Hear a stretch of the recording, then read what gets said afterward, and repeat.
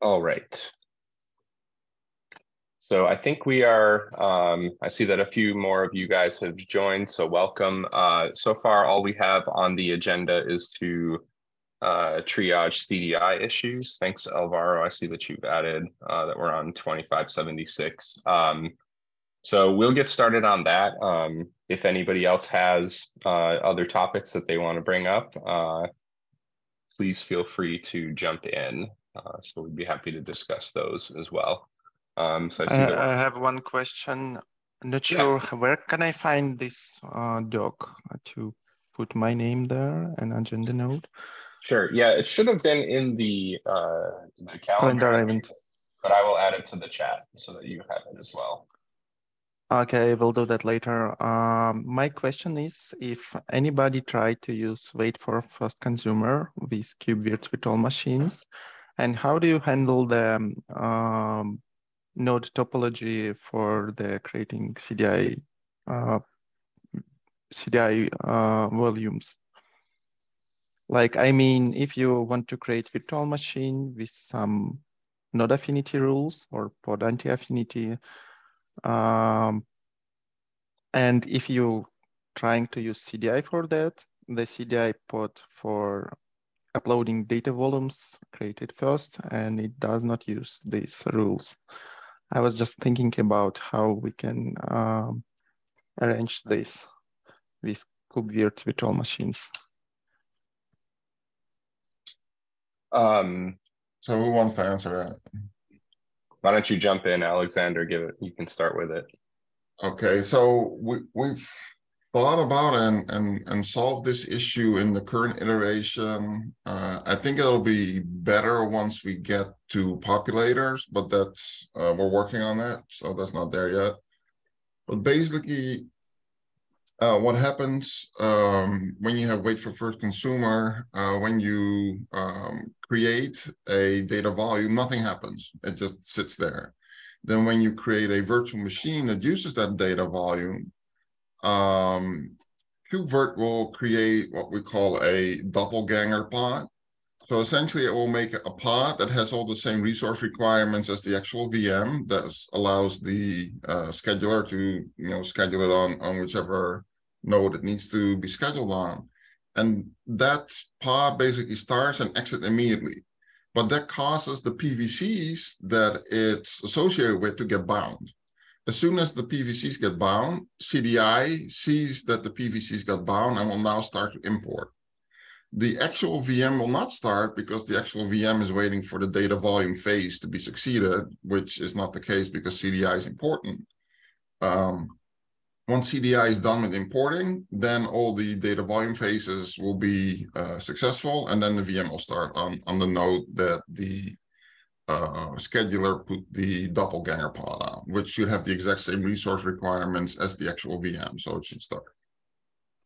Got it. Thank you. Uh, is there any requirements from KubeVirt virtual machine spec uh, which should be specified there to make it uh, creating, uh, to force it to create this kind of uh, data volumes? You, data volume template, isn't it? There's this feature gate in CDI uh, called feature Honor First Consumer. Uh-huh. if that's what enables all this machinery to happen but there's nothing on the VM uh, spec itself that is required. As well from KubeVirt side, if I right. understand it well. Right. Yeah. Okay. KubeVirt, thank you. Yeah, KubeVirt, you shouldn't need anything, but yeah, all that machinery that Alexander talked about is behind a feature gate in CDI called Honor wait for first consumer.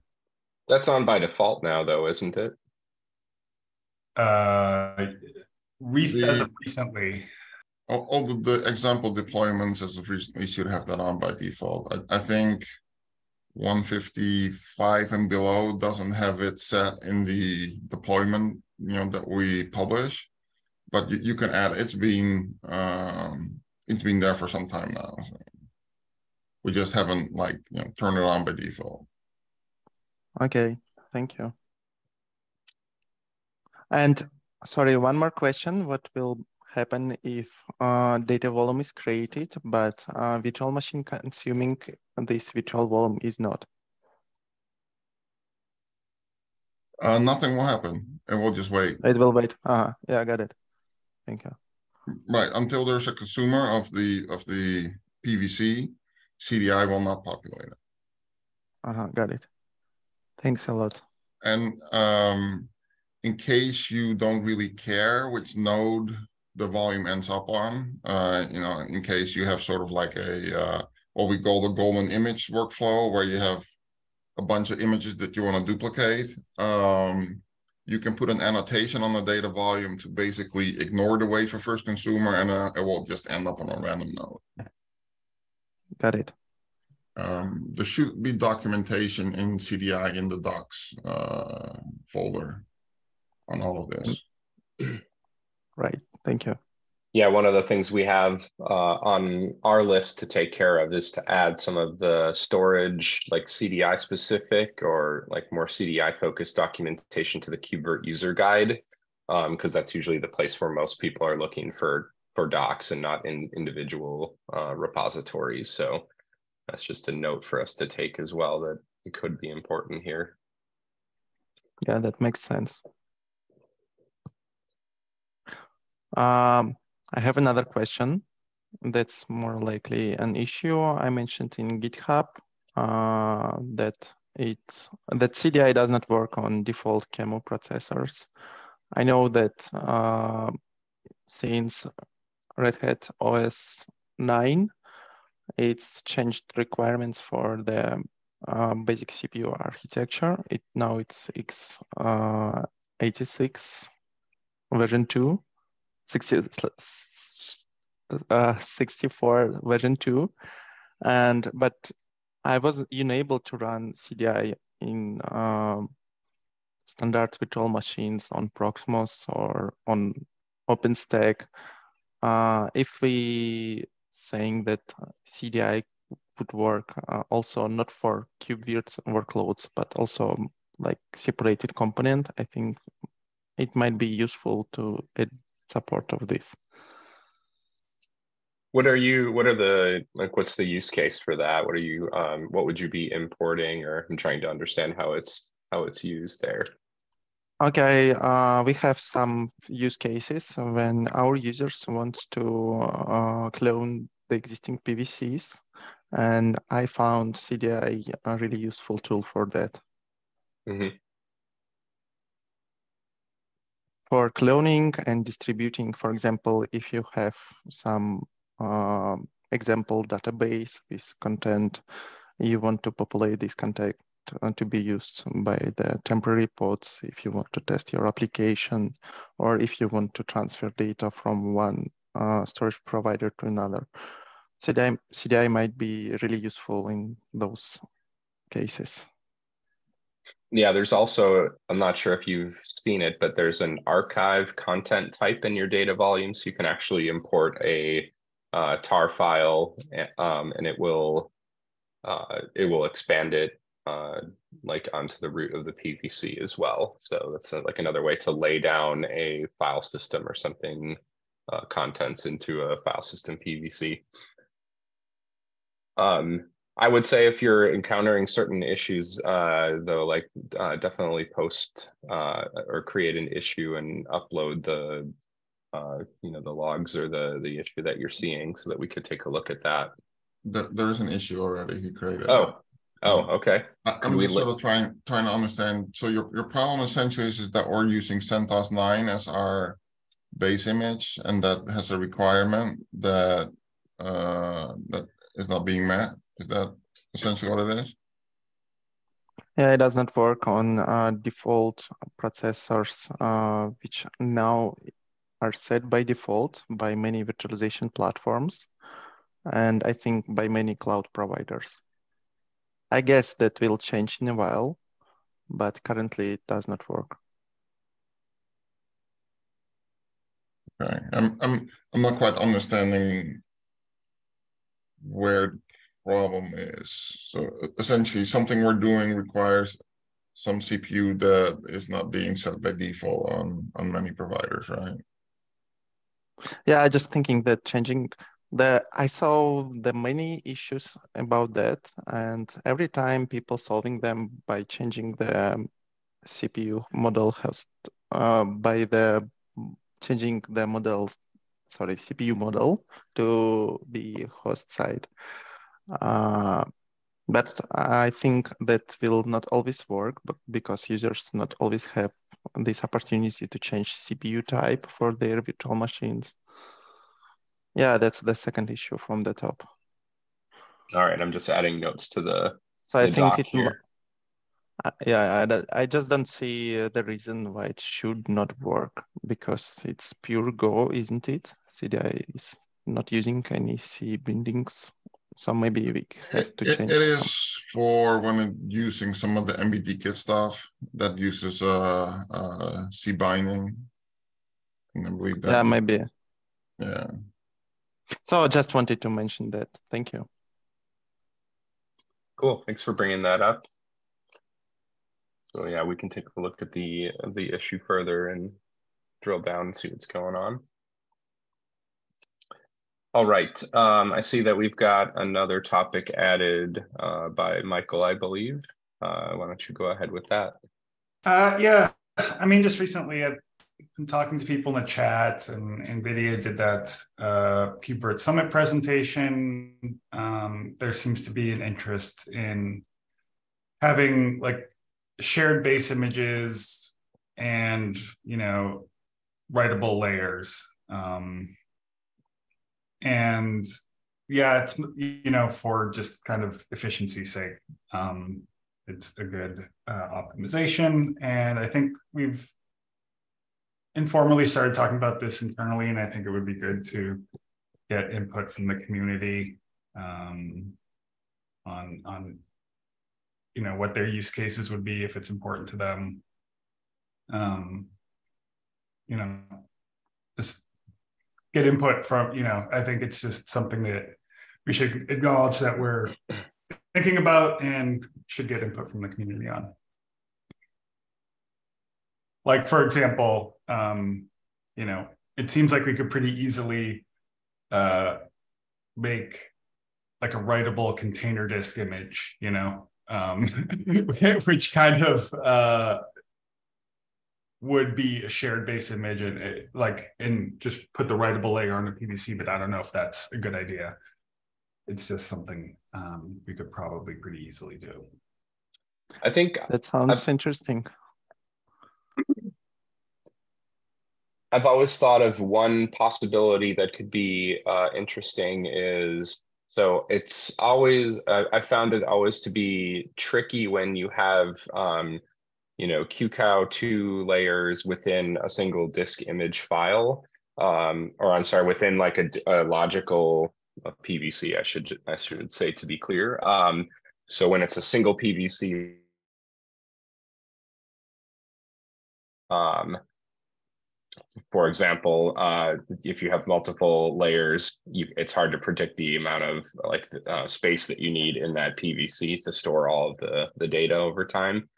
Um, but anyways, I think an interesting use case could be that uh, you could define uh, the individual layers that you're using in your uh, virtual machine spec. And if each layer was a PVC, so you could actually have a shared um, base layer that was brought in, for example, by a registry import. Um, uh, and then you could have a uh, QCOW2 layer that that you define in another PVC that sits on top of that and actually back reference it. So it has a backing chain reference to that other PVC.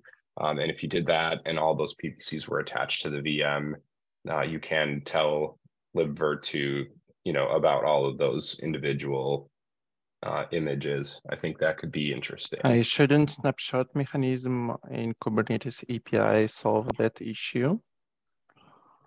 I mean um, that we have still the same PVCs and we just relying on storage provider to make all these chains working of snapshot chains. So that's, I mean, that is the that is the underlying like the the the main theory that we have had from the beginning is that with Kubernetes, people would be using uh, snapshot capable storage. And certainly it is much simpler from our end in KubeVirt if we don't concern ourselves with any of that stuff. Um, and we leave it to the storage. and that is the case a lot of times. But in the like, for example, in the presentation from NVIDIA, uh, they had an interesting case about you know shared uh, like base operating system images that they wanted to disperse uh, to all the nodes of the cluster and um, and then launch uh, you know basically clones from that base image really quickly. Um, but yeah there's multiple ways to solve this for sure and we've so far focused on the one that says let's leave it up to the storage. So i have a question like pardon my ignorance because I don't know the details. So if the hardware provides the capability of snapshotting, uh, what happens to the page cache usage on the node? Like uh, when I'm, if the multiple, if I launch multiple VMs, my understanding is that I'll end up creating multiple copies of the same block on the node in the base cache, despite the fact they are being shared only because the only storage knows about it backend.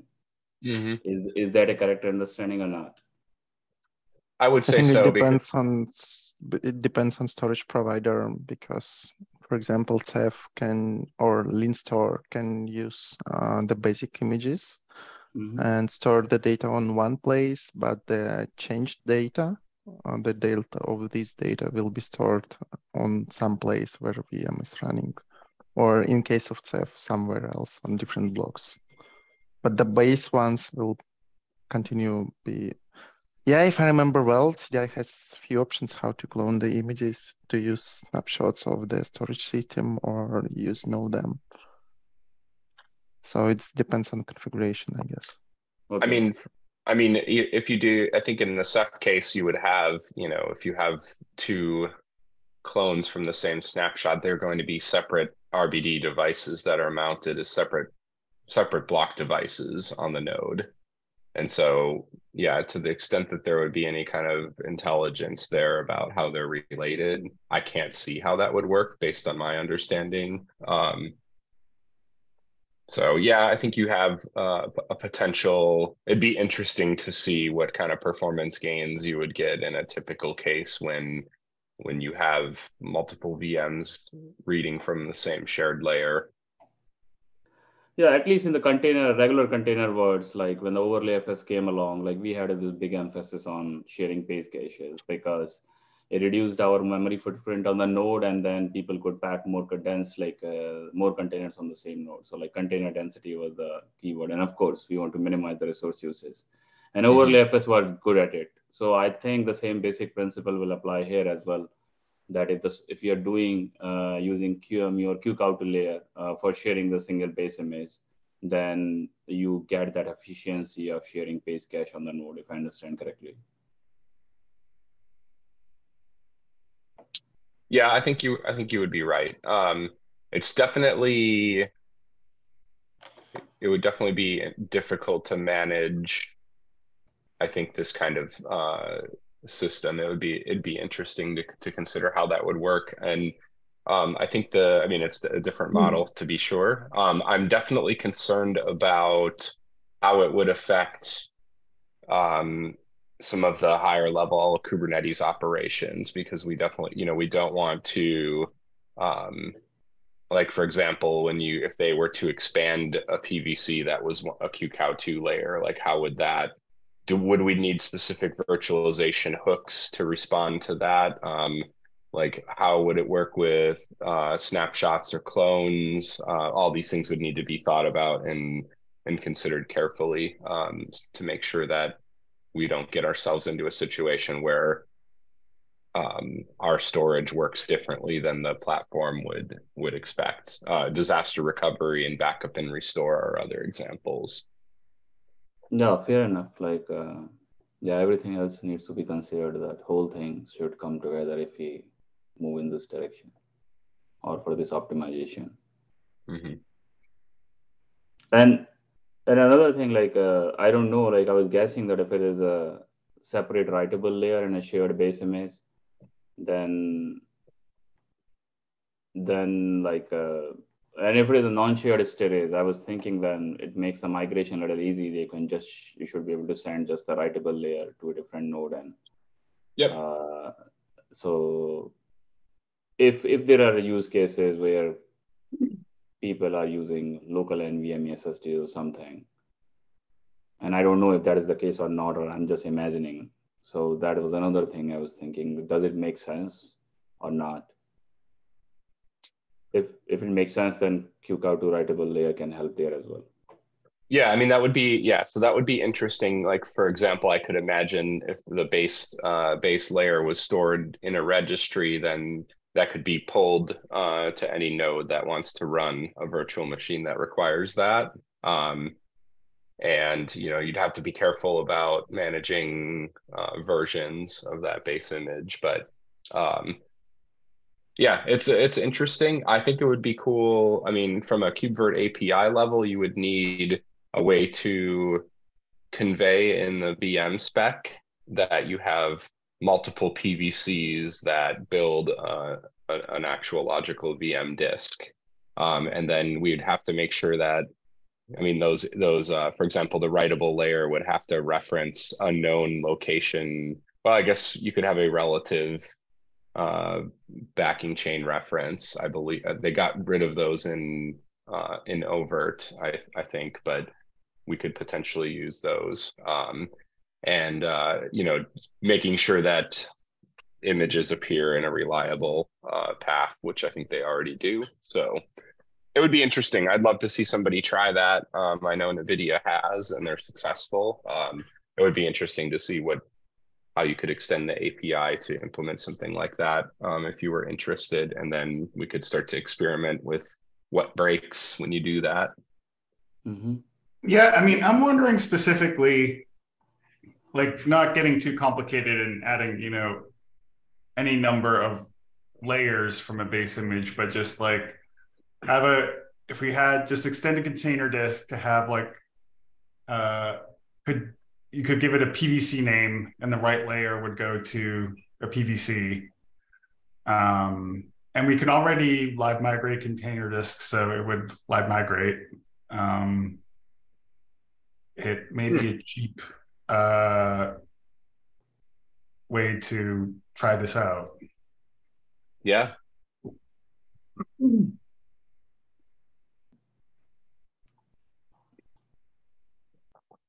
yeah, that's an interesting way to um, to think of it because yeah, and really, I think that's the common case. It's we're not trying to do internal snapshots or like yeah, snapshot like QEMU snapshots within the QCOW2 layers, although one could do something like that. Um, but uh, I mean, your use case is a simple, a simple one. Well, it doesn't it, even have to be a QCOW2 file. I mean, you can still layer raw, right?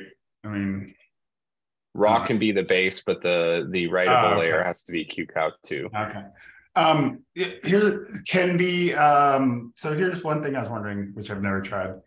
Can the base layer be like a you know 10 gig image and the QCOW be like a 40 gig or something? Because I think that's you probably would want something like that to be able to um,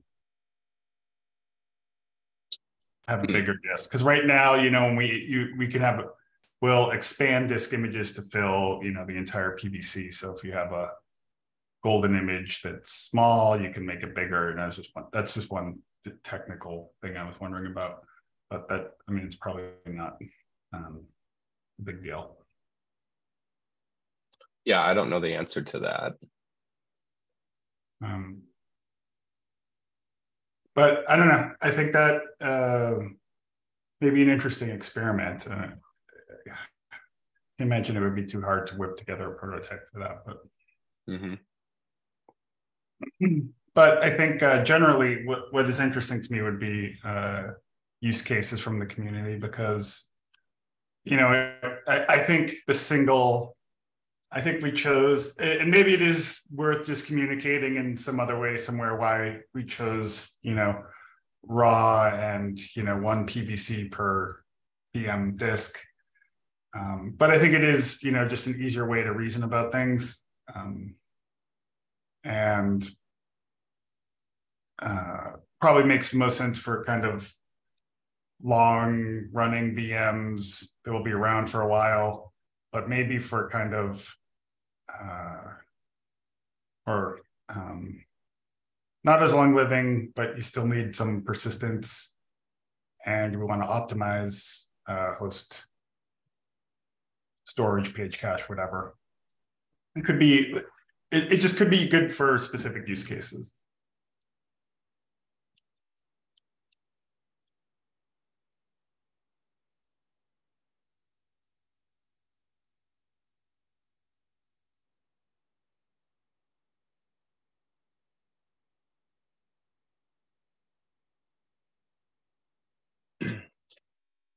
Sorry, I'm just capturing a couple of notes from the discussion. Yeah.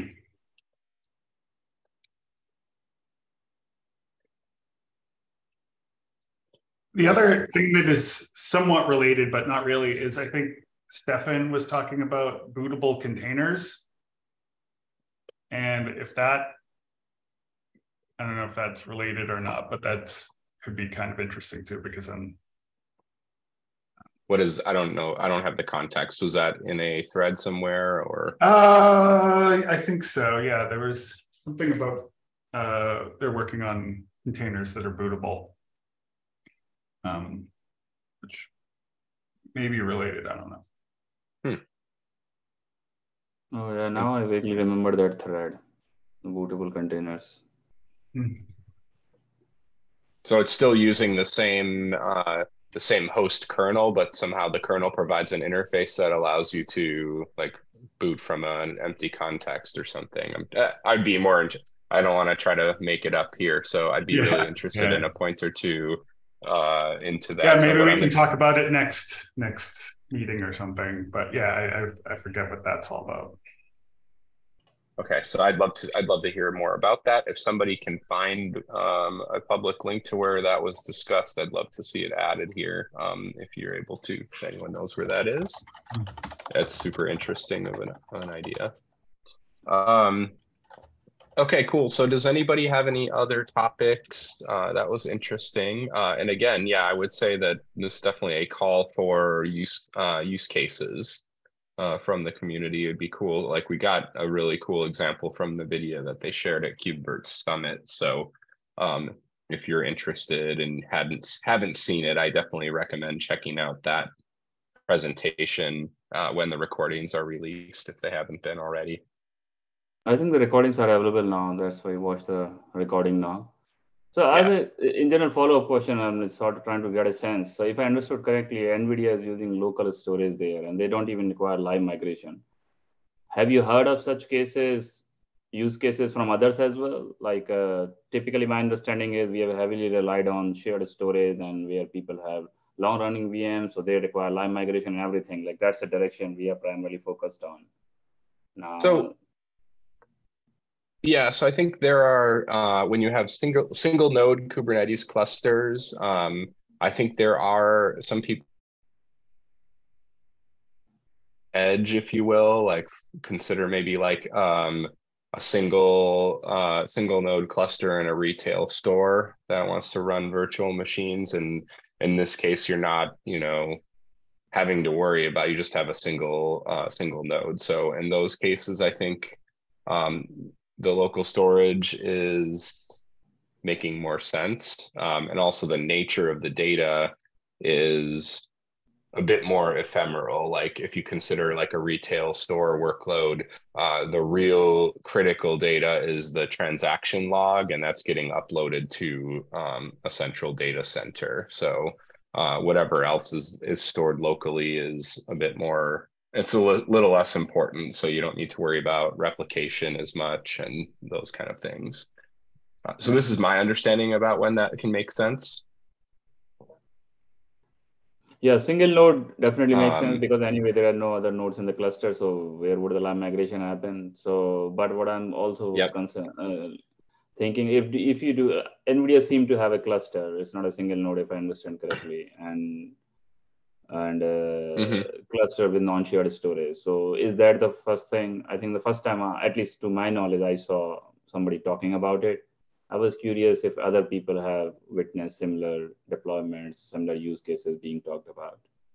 Well, I, I think NVIDIA is looking at the VMs more like, you know, normal people would look at containers like, well, if they get destroyed, they'll just get started somewhere else and, and we're not that worried about it. Uh, right. And in that case, like migration doesn't really make that much sense because if, if you're considering it just like a you know somewhat special container, but not like super special, it's not like a pet, um, then you know if it dies and it starts somewhere else, it's fine. So so basically cattle class VMs, if somebody right. can identify that these VMs are cattle class, then we can just treat them like containers, start them on one node and don't worry about live migration and then restart if it dies. Exactly. Yeah. Especially if they're uh, if they're also um, more job focused where they're gonna they're gonna run for a short period of time because then you know the scheduling issue isn't as big of a deal because the VMs are always starting and stopping. Mm-hmm. Sounds good. Thank you. Yeah, I think this will be a uh, something a use case I'll be interested in, sort of evolving theme. I'll just keep an eye on this. Yeah, and I didn't have uh, I didn't have a like something to link to, but in my head, I've been thinking about um, uh, live storage migration, which kind of came up here in the context of this previous topic. Um, and really, in the context of Kubernetes, it's if you want to drain a node so you can perform maintenance or upgrade the software on it. Um, and, and, as as uh, all of you know, we require read write many storage for that. So um, I've been considering uh, as another project or interesting, um, yeah, thing to look at is how we can enable uh, migration of the storage generically, uh, even for read write once storage, even if it's less efficient. So um, I'll probably bring that up as another topic if I create an issue upstream for that in the future. But it's also related, so it's cool to see us kind of always uh, going back to the basics and thinking about how things are uh, are architected and if there are improvements or changes we want to make. All right, uh, should we go to triage CDI issues at this point, or are there any other topics from anyone uh, before we get to that? All right, sounds like we're ready. So we left off at 2576. Oh, so we've nearly gotten through the list. Um, so we are on this one. I don't recall discussing. Uh, I think we already discussed that one. Okay, let's take a look. Yeah, anyway, Ido is already working on that, so. Oh, great. Okay. It's already covered. So we have it covered. Thanks. Okay, so next it is importer pod permission denied for block storage. Okay, so we've got a PVC, read write many block, Ceph RBD. And we have an importer error.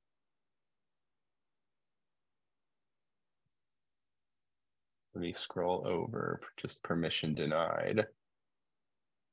So we all we've already seen uh, issues like this one before.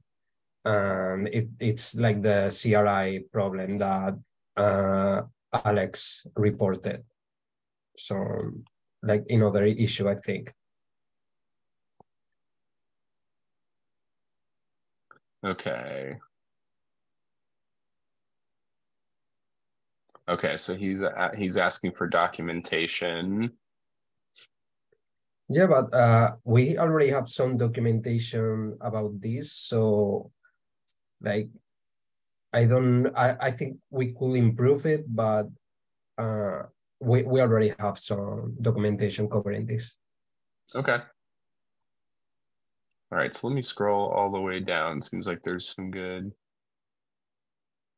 Okay, so it looks like, um, uh, yeah, I see, and it's been documented uh, for those who come later. So I think we could probably uh, um, close this. Do you guys agree? Yeah. Yes. Yeah. Okay.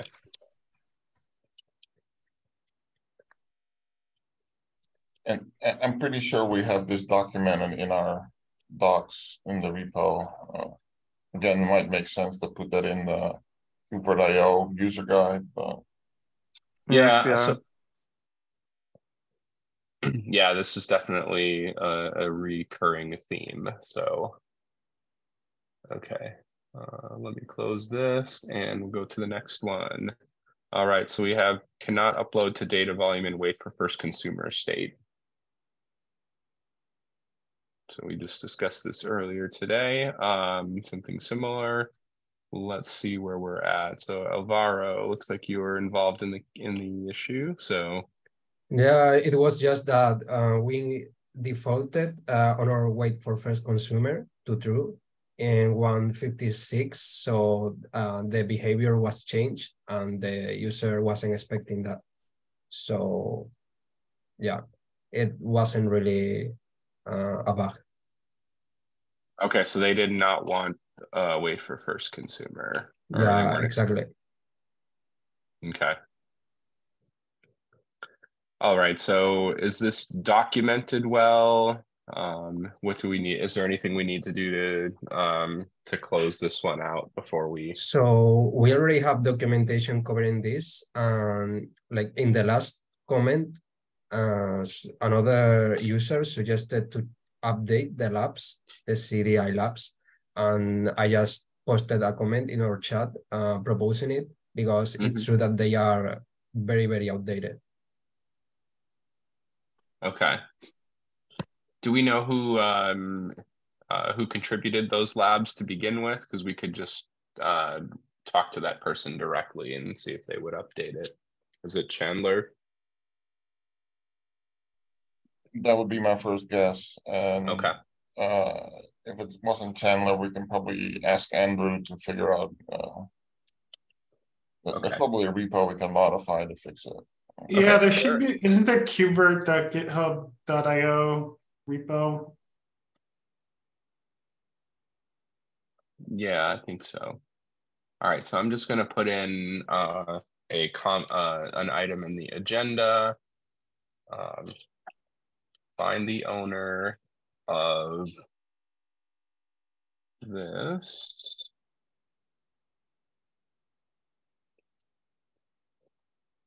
uh, because it needs an update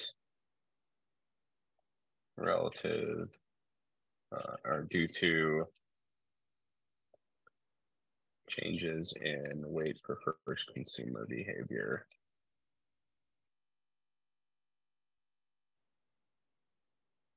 Okay, so not sure who wants to take that, but we do have it captured at least.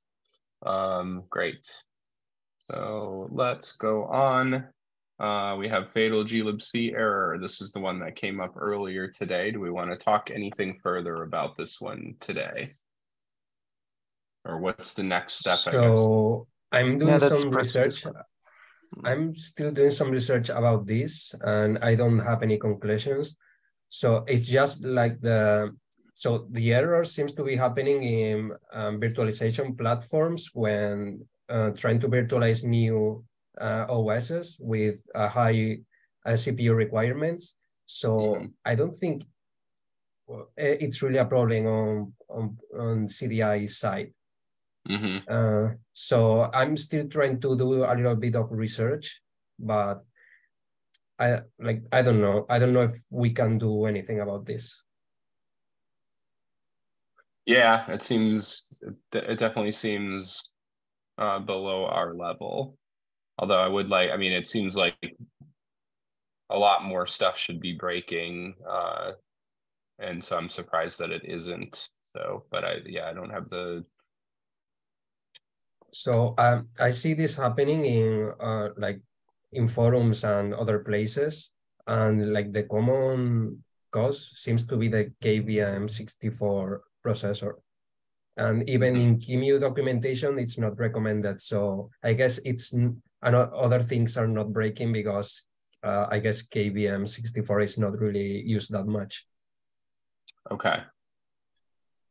All right. So it seems like the solution would be to set up the environment so that it's using a different machine type. Um, because yeah, we test KubeVirt with specific, uh, very specific machine types. Okay. Um, so yeah, I guess that would so, be the question. Uh, another question that I have uh, for Andre is uh, so you said that this is working with other KubeVirt related workloads, right? Yeah, for some, yes. For some workloads, it works. For some of them, is not. I mentioned in in and down, there is a command for running a operator, and it works. Mm -hmm. So I think we could use some building to avoid adding. Not sure. Gotham has some options uh, for avoid using C. Maybe if we would avoid using C in binaries, mm-hmm. it would yeah. make work uh, make CDI working on such environments. So maybe we should try if this started to fail when we started using like uh, CentOS Stream9 as the base image for CDI. I think that was pro- probably the like the change that uh, break this. Yeah, but as you can see, the virt operator works fine. It, yeah, it shows some error, but that's just because I run it on pure Docker with no configuration. But it works. While the other images, they report this glibc error. I think we can try avoiding glibc somehow in our binaries. Um, I'm not sure. Do you know the the KubeVirt version that you are using here? The latest ones. 59. Ah, right, right. Yeah, so, right. So yeah, I, I think we could, I think we could, uh, Alvaro, we could compare the uh, Docker file um, that's used to build virt operator um, versus uh, CDI. Yeah. Uh, well, in this case, I see virt hand. So virt handler is failing. virt handler, virt launcher also failing. Mm-hmm. But virt operator works. So it it probably has to do with um, yeah, if there's certain libraries that that pull in glibc um, versus just a, a pure because it makes sense that like virt operator would be able to be just a pure Golang binary because all it's doing is manipulating Kubernetes resources where uh, virt handler or CDI we're doing things with uh, with uh, you know QEMU components that are going to be written in C and then have glibc dependencies. Um, okay, yeah, so that's I think this is a, a, a bit more fundamental of a problem that would probably take a long time to fix. I guess I wonder, is it possible on your platform uh, to change this to use the recommended um, like host CPU setting, or or do you not have control of that? Yes, we do, but we are developing a platform which is able which able to install on many cloud platforms. Um, I see. and we can't control all those environments and we don't even know on which environments it's getting to be installed. We have a lot of components uh, like i know cert manager nginx ingress kubevirt as well install i don't know so many components and none of them have this problem just cdi and probably kubevirt but kubevirt is getting installed and get used only on hardware mm-hmm. uh, on bare metal servers. So I think it shouldn't be a problem. But CDI can also be used for other purposes. Mm-hmm.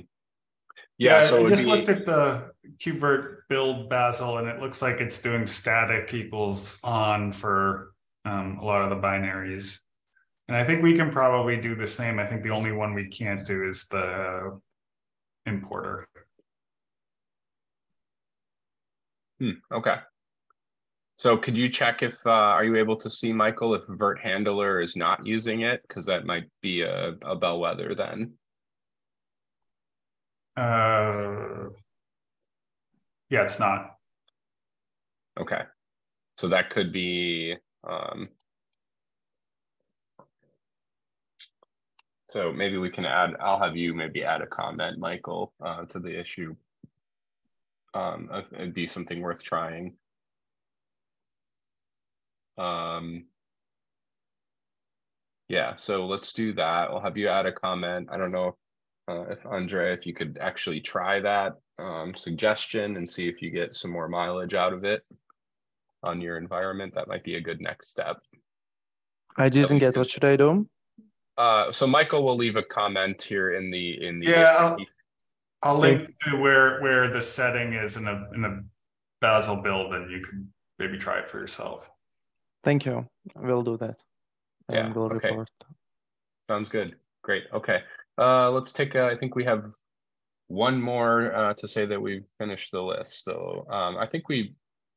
Uh, this one looks familiar with the lost and found. Um, do we have a PR that was going to be addressing this? I think Michael, you might have been working on it. Oh, Yeah, it it has was been just fixed in twenty-six seventy-six. Okay.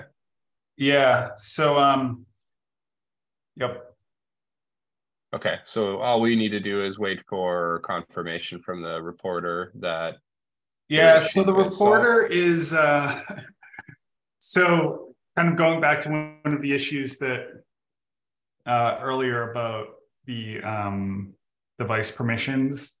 So this reporter you know, I know him through like the Slack and for whatever reason they they cannot set those uh device permissions. So they're on an old version of CDI 154 I think.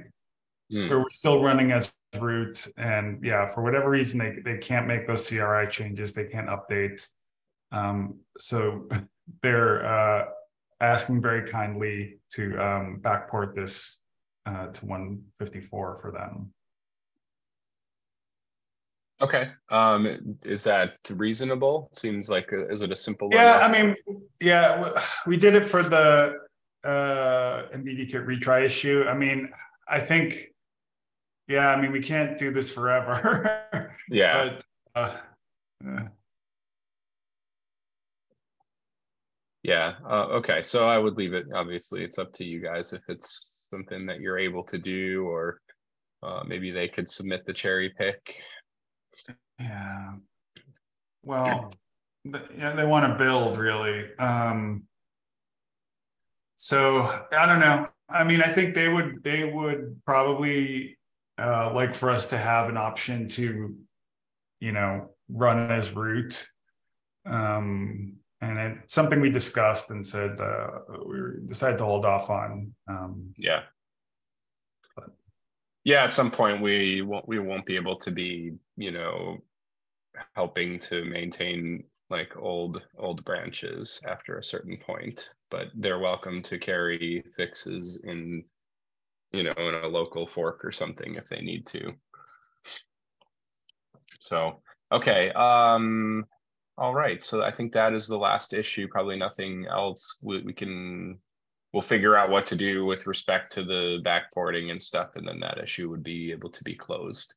And so I think we're kind of at the uh, the end here. Did anyone have any last minute uh, thoughts, questions, comments, etc.? Just short question. Um, how the sorry, uh, if you have PVC or data volume on one namespace and user has no privileges to this namespace and he's querying to create data volume of this PVC from the namespace he's not owns, how the CDI is ensuring the security? Uh, yeah, so uh, basically, there are a couple things. There is uh, w- when you create the data volume that accesses a different namespace, we'll check either can that user create a pod in that other namespace, and if so, you kind of de facto have access to it. Um, there is also an explicit RBAC um, that we have called like uh, CDI KubeVirt data volumes source. I'll find the documentation. I think it's documented somewhere. But there's also an explicit check. So what we do, like when we um, for our downstream, we have a golden images namespace that everyone can access. So we give you know system authenticated user access to this data volumes source explicit permission so anyone can can get them. Um, Got it. Uh, and how uh, is the name of this namespace is it explicit or can I specify it somehow? uh, so you, what you would do is create uh, um, I, I want to create golden images repository, yes, in the yeah. cluster. So you'll create a role that has this permit that that has um, uh, basically I create data volumes slash source is the uh, resource. I'll find an example and, and, and show you. Mhm. Um, and then you would create a role binding to uh, for system authenticated users. So it's basically all users have that permission then. Okay, I'll Yeah. take a look. Thank you. Yeah, Thank you for so uh, I wonder if th- that's probably being done in the uh, hyperconverged cluster operator repository within KubeVirt, the HCO. Um, I guess it's that. No, I think it's done in the um, uh, SSP, right? So they do golden images. Okay. Um, yeah, I'm not, it'd be interesting to, yeah, see if we could find the, but it's gonna be in one of these projects that's not, uh, CDI or KubeVirt, um, which, um, kind of creates the, um, sort of the de facto environment. Um, so, yeah, but it sounds like Michael would be able to give you some specific examples. Uh, I'm gonna put a link in the chat right now. Cool. Thank you. All right, and uh, I guess I'll hold the, oh, let's see, yeah, he did place that in the chat, so it's there. Um, so I think we're ready to wrap up here. It's about five two, so um, thanks everybody for joining and the participation. It was a good discussion as always. Uh, so we will catch up with you guys the next meeting in two weeks. Thank Thanks. you. Bye. Thank you. Bye. Bye-bye. Thank you. Bye bye. Bye bye. Thank you.